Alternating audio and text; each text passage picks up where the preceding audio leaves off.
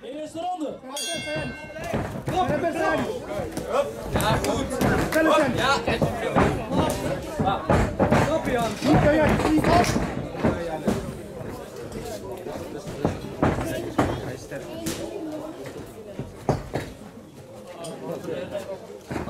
Einde partij.